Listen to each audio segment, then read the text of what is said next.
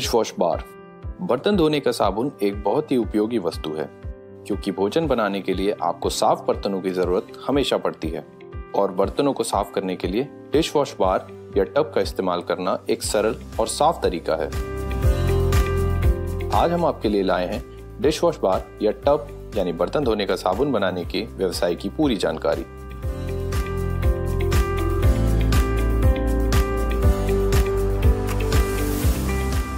नमस्कार। मेरा नाम दिनेश है, मैं नोवो केम से हूँ और आज हम लोग यहाँ पे डिस्कशन करेंगे और आपको दिखाएँगे इस वीडियो के अंदर कि डिटर्जेंट केक और डिश वॉश बार कैसे बनती है। Dish wash bar dish wash tub जो कि बर्तन धोने में यूज़ में आती है। तो इसके लिए हम आपको मशीनरी और इसके रिक्वायर्ड केमिकल्स फॉर्मुलेशन और बनाने के तरीके के बारे में हम सारी चीज़ें आपको बताएँगे। तो आइए देखते हैं डिश वॉश बार बनाने का पूरा प्रोसेस बर्तन धोने के साबुन बनाने के लिए सबसे पहले सभी raw materials dolomite soda ash sodium silicate को एक एक करके विधि अनुसार सिग्मा मिक्सचर में डालते हैं, जहाँ ये मिक्सचर अच्छी तरह से होमोजेनाइज हो जाएगा। इस मिक्सिंग के प्रोसेस में लगभग 40 से 45 मिनट लगेंगे। रॉ मटेरियल्स का रेशियो आपके फिनिश प्रोडक्ट की क्वालिटी पर डिपेंड करेगा। तो जो मार्बल पाउडर आपका होता है, उसके अंदर कैल्शियम और मैग्नीशियम दोनों चीज़ें होती हैं बट कैल्साइट के अंदर 90 परसेंट कैल्शियम परसेंटेज होना चाहिए। ये थोड़ा सा ज़्यादा वाइट होता है कंपेयर टू आपका चाइना क्ले इसके अंदर वाइटनेस थोड़ी बेटर होती है और इसके अंदर कैल्शियम परसेंटेज होती है। इसका रोल क्या होता है केक के अंदर? एक केक के अंदर जब सिलिकेट के साथ रिएक्ट करता है तो एक बाइंडिंग देता है, एक स्ट्रेंथिंग देता है, मजबूती देता है। इसलिए इसके अंदर कैल्साइट यूज़ करते हैं। अब इसमें स्लरी ऐड करेंगे। इसके बाद इसमें पाँच से छह लीटर पानी पड़ेगा। पानी की मात्रा उस स्थान के मॉइस्चर और समय पर डिपेंड करेगा। अब इस मिक्सचर में फोम बूस्टर मिलाएँगे, जो आपके प्रोडक्ट में झाग को बढ़ाएगा।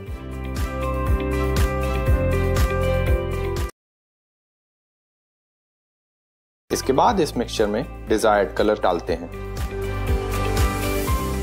कलर को डालकर 20 मिनट के लिए मिक्सर का वॉल्व बंद कर देंगे। 20 मिनट के बाद इस मिक्सचर में सोडियम सिलिकेट डालकर पाँच मिनट के लिए फिर से छोड़ देंगे। इसके बाद इसमें पॉलीमर और लिक्विड फ्रेग्रेंस ऐड करेंगे। पॉलीमर का जो रोल होता है बेसिकली ये बाइंडिंग में आपको हेल्प करता है। प्रोडक्ट के अंदर एक तो बाइंडिंग देता है। दूसरा आपका क्या है कि एंटी री रिपोस्टिंग और एंटी स्केलिंग देता है। आपने देखा होगा, जैसे कई बार आप जब बर्तन बार से बर्तन को धोते हैं और बर्तन को धोने के बाद भी आप जब उस पर उंगली से हाथ फिराते हैं तो कुछ मिट्टी सी आती है। तो बेसिकली क्या है कि डिश वॉश बार या डिटर्जेंट केक के अंदर जो मिनरल्स यूज़ होते हैं, ये सारे वाटर इंसॉलेबल होते हैं। तो ये वाटर इंसॉलेबल जो होते हैं तो ये आपके बर्तनों के ऊपर चिपकते हैं। इसलिए हम इसके अंदर पॉलीमर डालते हैं ताकि ये आपके बर्तन के ऊपर कोई भी मिट्टी चिप, चिपकेगी नहीं और ये पूरा का पूरा जब हम क्लीन करेंगे, जब बर्तन को रिंस करेंगे तो पूरा का पूरा ये बाहर निकल जाएगा। इसके अलावा क्या है पॉलीमर जो आपका है, आपकी टिकिया को बाइंडिंग भी देगा और इसकी मेल्टिंग को भी कंट्रोल करेगा। ये है फ्रेगनेंस क्योंकि बर्तन जब हम धोते हैं तो बर्तन धोने के बाद हम सभी चाहते हैं कि उसके अंदर एक अच्छी खुशबू आए और प्रोडक्ट के अंदर भी खुशबू आए। तो ये अब ये फ्रेगनेंस है परफ्यूम है। डिश वॉश के अंदर मैक्सिमम लेमन ही यूज़ करते हैं। इसके अंदर हमने लेमन की परफ्यूम डाली है।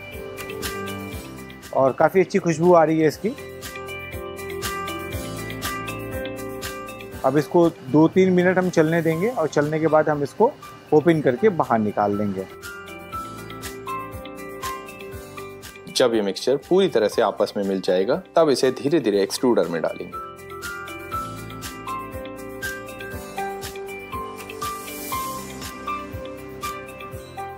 अब इस रोल की हम कटिंग कर लेंगे।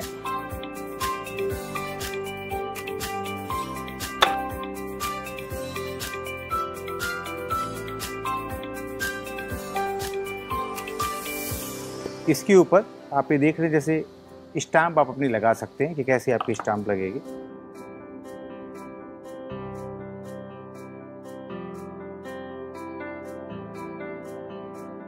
एक हमने इसके अंदर स्कबर डाला। ये प्रोडक्ट आपका कंप्लीट तैयार होगा। आप अपनी ज़रूरत के अनुसार एक्सट्रूडेड की डाई को चेंज करके राउंड या फिर बार शेप में प्रोडक्ट को कट कर लेंगे।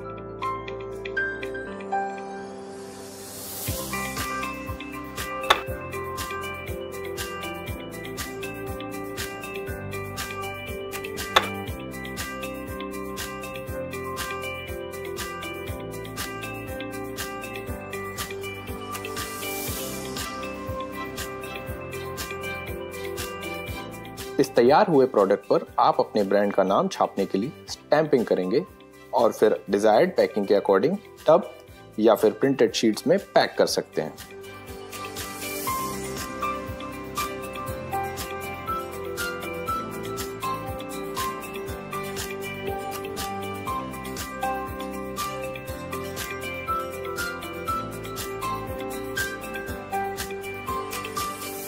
आपका प्रोडक्ट यानी बर्तन धोने का साबुन, बनकर तैयार है। बर्तन धोने के साबुन बनाने के लिए आपको इन मशीनों की ज़रूरत पड़ेगी। सिग्मा मिक्सचर जिसकी कीमत लगभग दो लाख साठ हज़ार रुपए तक बढ़ेगी। प्लॉडर या एक्सट्रूडर मशीन जिसकी कीमत आपको लगभग एक लाख साठ हज़ार रुपए तक पड़ेगी। कटिंग मशीन कटिंग मशीन की कीमत लगभग बारह हज़ार रुपए तक पड़ सकती है। डाइस, हर एक डाई की कीमत पाँच हज़ार रुपए तक पड़ती है। स्टैम्प, जिस पे आपके ब्रांड का नाम होगा। Manual packing machine.